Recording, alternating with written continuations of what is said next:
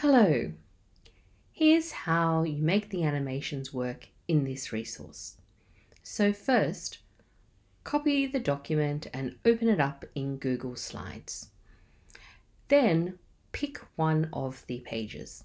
In this example, I've picked slide number six. Then go to anywhere on the page and click your mouse. The first word will appear. Now your student can try to decode the word. When you're ready to move on, click your mouse again. You can then look at the following words and your student can decode them.